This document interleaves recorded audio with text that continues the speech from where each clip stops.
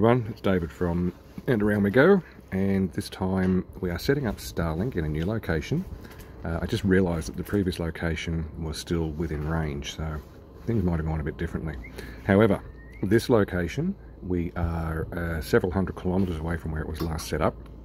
Now I've turned off my um, oh sorry turn the the phone onto airplane mode so that we've lost mobile phone connectivity so I've got no internet connection whatsoever but I've turned Wi-Fi back on. So we're simulating being in an area with absolute zero mobile phone coverage.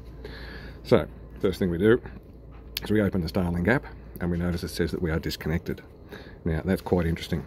If we scroll down from the top and we hold down on our Wi-Fi and we have a look it tells us that Wi-Fi is on. There's our internet coming from, or our Wi-Fi coming from Starlink, and it says that sign-in is required. So we're going to tap on that. And it's connecting, and it's connected. Now the reason it did that, of course, is because this is the phone that has the account on there. So another little thing's tipped up there and said sign in. Now it's coming up with the Starlink website. And there we go, we've now signed into the Starlink website, and you just heard a ding in the background. That's my phone now working. Now I'm not going to log into this account just yet. I'm going to go back to Starlink and you'll see it's now connected to online. So that's how we get online. We have to sign into the Wi-Fi, even though it's our existing Wi-Fi, it's making a sign in first.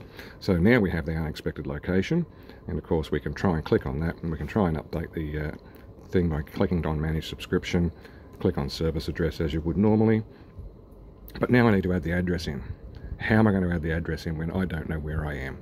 Um, the Starlink app doesn't give you that capability. If you look at the map down below, once that scrolls in, so you can see I'm getting internet coverage here, even though I'm not got my correct address in there.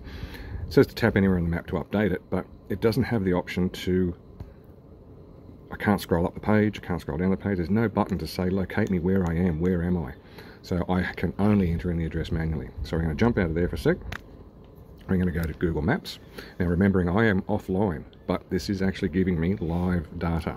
So I can click where am I, goes to the spot, tap on the spot where I am, scroll up, and that should now give me, in a few seconds, uh, oh, no, I missed it. Tap on the spot where exactly, and there we go.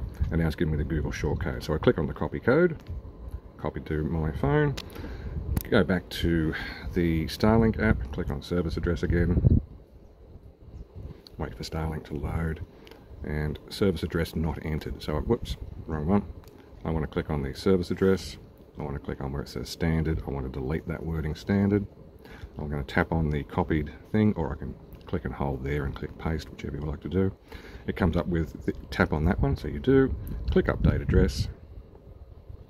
Give it a few seconds. You can see now the map is showing pretty much exactly where I am and it's now updated to Tom Price, which is exactly where I am right now. So up on the top left corner, I've got the X. Close that and then go back from subscription back to online. We're now online, but you can still see at the top of my screen, it's still showing the Wi-Fi signal with an exclamation mark. So it's showing that I don't have service, still showing that I'm in an unexpected location.